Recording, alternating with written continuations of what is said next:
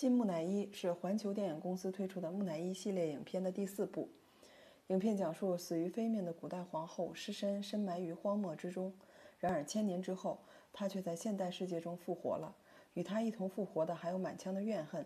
这部电影将拍摄时间设置在了现代，从黄沙飞舞的非洲沙漠到隐藏于地下的神秘地宫，再到面临毁灭的现代都市。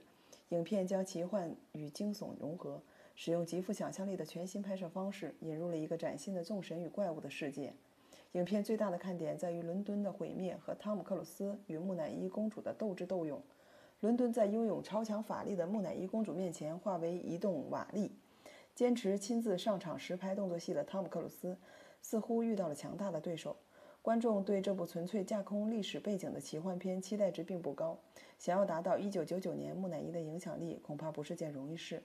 越来越多的大制作电影将目光锁定在科幻、机械等未来元素上，新木乃伊却别出心裁地将世界投向历史和传说，诉说一段远古力量来到现在的故事，成就了不一样的经典。感谢您的观看，期待您的评论，我们下一期再见。